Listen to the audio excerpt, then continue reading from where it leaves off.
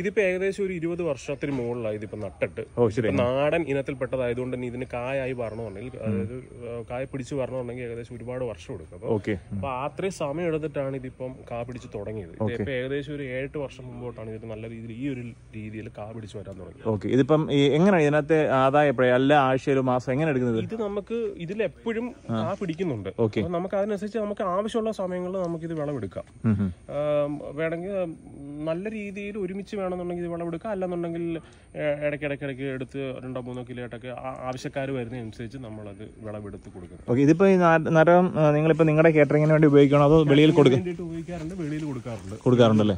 Okay നമ്മുടെ ഈ ഒരു നാടൻ നാരങ്ങ അതുപോലെ തന്നെ അല്ലെ ഹൈബ്രിഡ് നാരങ്ങ നമ്മൾ വ്യത്യാസം മെയിനായിട്ട് പറയാൻ എന്തുള്ള ഹൈബ്രിഡ് നാരങ്ങയും ഇത് തമ്മിലുള്ളൊരു വ്യത്യാസം എന്ന് വെച്ച് കഴിഞ്ഞാൽ പ്രധാനമായിട്ട് പറഞ്ഞതിന്റെ ഗുണം തന്നെയാണ്. കാരണം ഇത് മറ്റു നാരങ്ങ നമ്മൾ കടകളിൽ നിന്നൊക്കെ മേടിക്കുന്ന നാരങ്ങക്കാട്ടിലും ഇതിന് നല്ല സ്മെല്ലാണ്. ഓക്കെ നമ്മൾ തന്നെ എടുത്ത് ഒരെണ്ണം പൊട്ടിച്ചു നോക്കി. നല്ല മണമാണ്. നല്ല നല്ല സ്മെല്ലാണ്. അതേപോലെ തന്നെ ഇതിന്റെ വലിപ്പം. നമ്മൾ സാധാരണ കടകളിൽ നിന്ന് മേടിക്കുന്നതിന് ഇത്രയും വലിപ്പം കാണും. പിന്നെ അതേപോലെ തന്നെ ഇത് നല്ല പഴുപ്പ് എത്തിയതൊക്കെ ആണെന്നുണ്ടെങ്കിൽ പഴുപ്പ് എത്തിയതല്ലെങ്കിൽ പോലും ശരി ഇതിന് നീര്.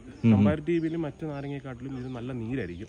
അതായത് ഇപ്പോൾ ഒരു ഒരു സത്യത്തിൽ ഇത് ഒരു ഒരു നാരങ്ങ നല്ല വലിപ്പമുള്ള ഒരു നാരങ്ങ ആണെന്നുണ്ടെങ്കിൽ ഒരു നാരങ്ങ പിഴിയുവാണെന്നുണ്ടെങ്കിൽ ഏകദേശം മൂന്ന് പേർക്ക് അല്ലെങ്കിൽ നാല് പേർക്കൊക്കെ ഉള്ള നാരങ്ങ വെള്ളം കിട്ടും. ഒറ്റ നാരങ്ങയ്ക്കകത്ത് തന്നെ കിട്ടും. നാരങ്ങയ്ക്ക് തന്നെ കിട്ടും. കിട്ടും. അത് അതൊരു വലിയ ഗുണമാണ്. പിന്നെ അതേപോലെ തന്നെ ഇത് സത്യത്തിൽ നമ്മൾ അത് മനസ്സ് നമ്മൾ മനസ്സിലാക്കണം. പിന്നെ ഇതിന്റെ ഒരു നെഗറ്റീവ് എന്ന് ഞാൻ പറയുന്നത് എങ്കിൽ പോലും ശരി നമ്മൾ മനസ്സിലാക്കേണ്ടുന്ന ഒരു കാര്യം വെച്ചാൽ നമ്മൾ മാർക്കറ്റിൽ നിന്ന് മേടിക്കുന്ന നാരങ്ങ നമ്മൾ മേടിച്ച് കഴിഞ്ഞാൽ നമുക്കതൊരു ഒരു മാസം അല്ല രണ്ട് മാസമൊക്കെ വേണമെന്നുണ്ടെങ്കിൽ നമുക്കത് സൂക്ഷിച്ചു വെക്കാൻ പറ്റും. പക്ഷെ ഈ നാരങ്ങയുടെ ഒരു അത് നെഗറ്റീവ് ആണോ അതോ ഒരു പോസിറ്റീവ് എങ്ങനെയാണോ എനിക്കത് പറയേണ്ടതെന്ന് അറിയത്തില്ല. എങ്കിൽ കൂടെ തന്നെ ഇതിൽ നിന്ന് പഴുത്ത് അതായത് നാച്ചുറലി മരത്തിൽ നിന്ന് തന്നെ പഴുത്ത് പൊഴിഞ്ഞ് വീഴുന്ന ഒരു നാരങ്ങ നമ്മൾ പെറുക്കി വെച്ച് കഴിഞ്ഞാൽ അതൊരു ഒരു ഒരാഴ്ച കൂടുതൽ ഇരിക്കും ഇരിക്കത്തില്ല. അലിഞ്ഞു പോകും. അത് അളിഞ്ഞു പോകുന്ന ഒരു അവസ്ഥ വരും. പക്ഷെ നമ്മൾ പുറത്തുനിന്ന് മേടിക്കുന്നത് അപ്പൊ അത് നമുക്ക് മനസ്സിലാക്കാം. നാച്ചുറലി കിട്ടുന്ന മറ്റേത് ചേർത്ത് വരുന്ന നാരങ്ങ നമ്മളുടെ വ്യത്യാസം എന്താണെന്നുള്ളത് നമുക്ക് മനസ്സിലാക്കാൻ പറ്റും. ഓക്കെ ഇപ്പൊ ഇതിനകത്തൊന്നും ഇപ്പൊ എല്ലാം തന്നെ പച്ചയാണ് നിൽക്കുന്നത്. പഴുത്ത ഒന്നും കാണാനില്ല.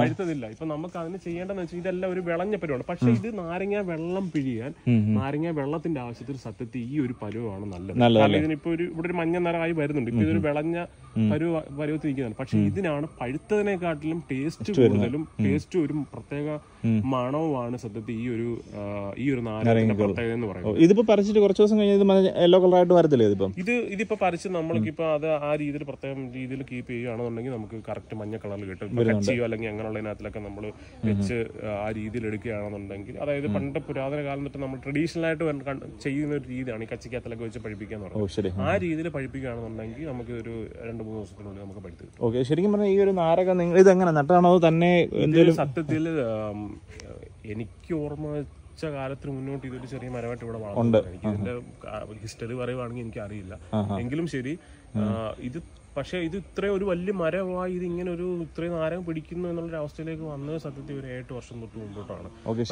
ഇത് ഒരു നിങ്ങൾക്ക് ഒരു വരുമാനമല്ലേ നല്ലൊരു വരുമാന മാർഗമാണ് നല്ല വരുമാന മാർഗം എന്ന് വെച്ചാൽ നല്ല വരുമാനം. കാരണം ഇതിന് എങ്ങനെയായാലും ഒരു മിനിമം ഒരു നാൽപ്പത് രൂപ അല്ലെങ്കിൽ ഒരു ഒരു എൺപത് രൂപ തൊട്ടൊക്കെ മുകളിലോട്ട് നമുക്ക് ഇതിന് എപ്പോഴും എല്ലാ സമയത്തും വില കാണും. പിന്നെ മഴക്കാലമൊക്കെ വരുമ്പോഴേ ഉള്ളൂ ഇച്ചിരി വില കുറയും. ഈ നാരങ്ങ വെള്ളത്തിന്റെ ഒക്കെ ഡിമാൻഡ് കുറയുന്ന സമയമാണ്. ആ സമയത്ത് ഇച്ചിരി വില കുറയും. പക്ഷെ ഇപ്പൊ നിലവിൽ നല്ല വിലയുണ്ട്. ഒരു നൂറ്റമ്പത് രൂപയൊക്കെ കിലോയ്ക്ക് വില സീസൺ ഇപ്പം ഈ വെയിലൊക്കെ ആയതുകൊണ്ട് പിന്നെ അതുപോലെ തന്നെ കല്യാണം. കല്യാണം. കല്യാണ സീസൺ ആയതുകൊണ്ട് നാരങ്ങയ്ക്കൊക്കെ വില കൂടും. ഓണമൊക്കെ ആയതുകൊണ്ട് ഇപ്പൊ നല്ല വില കിട്ടുന്ന സമയമാണ്. സമയമാണ്. ആ സമയത്ത് നമുക്ക് നല്ലൊരു വരുമാനം വരുമാനമുണ്ട്. അപ്പൊ ഇത് നിങ്ങളിപ്പോ ആവറേജ് ഇപ്പൊ മാക്സിമം ഇതിനകത്ത് എത്ര എണ്ണം വരെ ഒരു ടൈം നിങ്ങൾ എത്ര കിലോ ടൈമിൽ ഞങ്ങൾ പറയുകയാണെന്നുണ്ടെങ്കിൽ ഞങ്ങളൊരു ഇവിടെ കാറ്ററിംഗിന്റെ ആവശ്യത്തിന് വേണ്ടിയിട്ട് ഞങ്ങൾ ഒരിക്കലും ഈ നാരങ്ങ ഇതിൽ നിന്ന് ഞങ്ങൾ ഏകദേശം രണ്ടായിരം എണ്ണം രണ്ടായിരത്തിനടുത്ത് എണ്ണം നാരങ്ങ ഞങ്ങൾ പറിച്ചിട്ടുണ്ട്. അത് തന്നെ ഞങ്ങൾ ഇതിൽ ഒരുപാട് വിളവ് ഇല്ലാതിരുന്ന ഒരു ടൈമിൽ പോലും ഞങ്ങൾ ഏകദേശം ഇരുപത്തഞ്ച് മുപ്പത് കിലോയോളം വിളഞ്ഞ പരുവമായ നാരങ്ങ ഞങ്ങൾ വെച്ചിട്ടുണ്ട് നിങ്ങൾ എന്തെങ്കിലും ചെയ്തിട്ടുണ്ട്? ഇത്രയും കുല കുത്തി ഇങ്ങനെ നോക്കണം ഇത് ഈ മരം നോക്കണം ഇത്രയും വ്യാസത്തിലാണ് ഈ നിൽക്കുന്നത് മരം മൊത്തം നിൽക്കുന്നത്. ഇതിനെന്തെങ്കിലും പ്രത്യേകിച്ച് വളം എന്തെങ്കിലും പ്രത്യേകിച്ച് വളം എന്ന് പറയുകയാണെന്നുണ്ടെങ്കിൽ സത്യത്തിൽ ഇത് നമ്മൾ പ്രധാനമായിട്ട് ചെയ്ത് ഇത് ചെറിയ പരുവത്തിൽ വളർന്ന് വന്നിരുന്ന ഒരു ടൈം തൊട്ട് നമ്മൾ ഈ വീട്ടിൽ നമ്മൾ അടുക്കളയിൽ ഉപയോഗിക്കുന്ന ചാരം. അടുക്കളയിൽ ഉപയോഗിച്ചിട്ട് അധികം വരുന്ന ചാരം ഞങ്ങൾ ഇതിന്റെ ചുവട്ടിൽ കൊണ്ടിടുമായിരുന്നു. അങ്ങനെ ഇത് അത് ഇതിനൊരു വലിയ ഒരു വലിയൊരു വളമായിട്ട് മാറി. പിന്നെ ഇതിനൊരു ഒരു പ്രശ്നം എന്ന് പറയുന്നത് ഇതിന്റെ ഈ എത്തിങ്ങനെ ഇരിക്കുന്ന ശിഖിരങ്ങൾ താന്ന് താപ്പോട്ട് പോകും. വരുമ്പോൾ നമുക്ക് ഇത് സപ്പോർട്ട് കൊടുത്തു. അതിനാണ് നമ്മളിപ്പോ ഇങ്ങനെ കമ്പുകൾ ഒരു സപ്പോർട്ട് എന്നുള്ള രീതിയിൽ കൊടുത്തു ഉം. അപ്പൊ അതില്ലെന്നുണ്ടെന്നുണ്ടെങ്കിൽ ഇത് താഴോട്ട് പോകും. നമുക്ക് ഇതിനകത്തോട്ട് കയറാൻ പോലും പറ്റില്ല ഇതിന്റെ മുള്ളിന് ഒരു മുള്ള് നമ്മുടെ ശരീരത്തിൽ കൊണ്ടുകഴിഞ്ഞാൽ ഒരു നല്ല നീറ്റൽ പോലെയാണ് ഭയങ്കര നീറ്റാണ് നമുക്ക് അത് സാധാരണ മുള്ളു കൊള്ളുന്നതിനെക്കാട്ടും നീറ്റാണ്. അപ്പൊ അതുകൊണ്ട് നമ്മൾ ഈ ഒരു സപ്പോർട്ട് കൊടുത്ത് നിർത്തിയില്ലെന്നുണ്ടെങ്കിൽ ഇതെല്ലാം കൂടെ താപ്പൊട്ടിക്കും അതുപോലെ വീടിന്റെ മുകളിലോട്ടൊക്കെ അത്രയും വെയിറ്റ് അല്ലേ? വെയിറ്റ് ആണ്. അപ്പൊ അതുകൊണ്ട് അത്രയും സപ്പോർട്ട് അവിടെ കൊടുത്തേക്കുന്നല്ലേ അപ്പൊ എന്തായാലും ഞങ്ങളൊരു ഇരുപത്തഞ്ച് വർഷമായിട്ട് നമ്മുടെ ബ്രോയുടെ വീട്ടിലുള്ള ഒരു ചെറുനാരകമാണ് നമ്മുടെ നാടനാണ്. നോക്കി ഇപ്പോൾ തന്നെ നോക്കുമ്പോൾ കാണാൻ പറ്റും. ഫുൾ ഒരു ഒരു എനിക്കൊന്ന് പറിച്ച് കളഞ്ഞു. ഒരു തവണ എടുത്ത് ഇപ്പോൾ അടുത്ത സമയത്ത് എടുത്തിട്ടുണ്ടായിരുന്നു സമയത്ത് കുറെ ഞങ്ങൾ എടുത്ത് എടുത്തിട്ടുണ്ടായിരുന്നു. നിറച്ച് നിപ്പുണ്ട്. നാടൻ ഇതിപ്പോൾ നമ്മൾ ഇതിന്റെ ഇതിന്റെ നമുക്ക് ഇത് പെട്ടെന്ന് കണ്ണിൽ പിടിക്കില്ല. കാരണം എന്ന് വെച്ച് കഴിഞ്ഞാൽ ഈ ഇലയുടെ ഇതിന്റെ കളർ സെയിം ആയതുകൊണ്ട് പെട്ടെന്ന് നോക്കുമ്പോൾ മനസ്സിലാകത്തില്ല. ഇത് എവിടെയാണ് ഇത്? ഇതിനകത്തോട്ട് കയറുമ്പോഴാണ് മനസ്സിലാവുന്നത്. നമ്മൾ മനസ്സിലാവുന്നല്ലേ?